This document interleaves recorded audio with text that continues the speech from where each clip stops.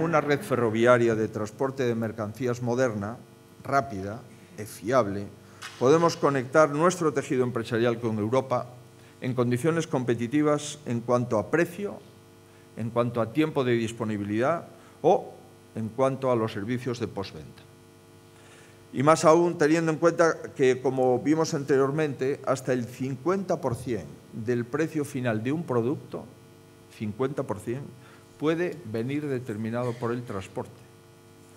Beneficios también para los puertos y para las plataformas logísticas, que mediante el impulso de la intermodalidad tendrán más posibilidades de aprovechar su posición geográfica estratégica y competir por nuevas actividades e inversiones